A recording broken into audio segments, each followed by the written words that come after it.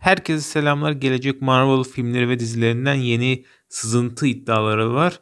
Bu iddiaların hepsi Reddit'te Marvel Studios Spoilers sayfasından alınmıştır. Linkini bırakırım. Siz de bakabilirsiniz. O sızıntıda yer alan bütün haberleri şimdi sizinle paylaşacağım. İlk sızıntı iddiamız videonun da başlığından görebileceğiniz üzere Jim Carrey MCU'ya mı katılıyor? Jim Carrey'nin Modok rolünde MCU'ya katılacağı iddia ediliyor. Hatta anlaşmaya varıldığı da iddia edilmiş Reddit sayfasında. Hangi yapımlarda yer alacağı ise şu anda kesin olarak belli olmasa da She-Hulk dizisinde yer alabileceği ve aynı zamanda da Ant-Man 3'te görünebileceği söyleniyor.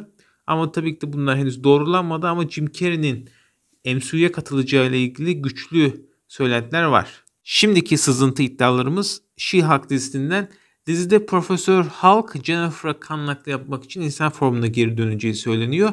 Bu dizinin ise Shang-Chi'de bildiğiniz üzere jenerik sonrası sahnesinde Bruce Banner'ı görmüştük. O sahneden aylar önce geçtiği söyleniyor.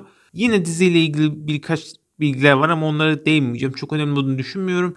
Tim Roth'un önemli bir rolü varmış. Abomination Emil Blonsky rolünde. Bildiğiniz üzere onu da Shang-Chi filminde görmüştük kısa da olsa. Daha önce birçok Marvel yapımında gördüğümüz William Hurt de dizide tekrardan General Ross rolünü canlandıracak. Aynı zamanda Charlie Cox'un da Netflix'ten farklı olarak görünen bir Daredevil'i canlandıracağı söyleniyor ve Betty Ross'un da geri dönmeyeceği bildiriliyor. She-Hulk dizisiyle ilgili sızıntı iddiaları böyleydi. Şimdi de Black Panther 2'ye geçiyoruz.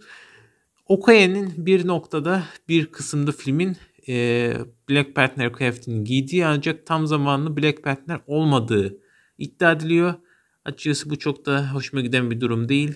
Eternals'ın sonunda okyanuslarla ilgili bir şey olacak ki yazıda öyle bahsediyor.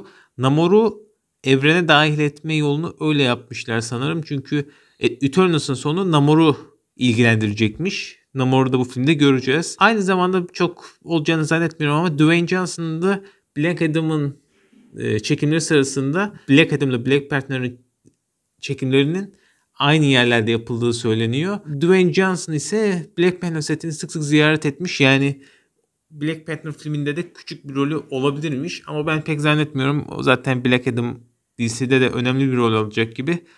DC bırakmaz Dwayne Johnson'ı Marvel'a. Şimdi gelelim Moon Knight dizisine.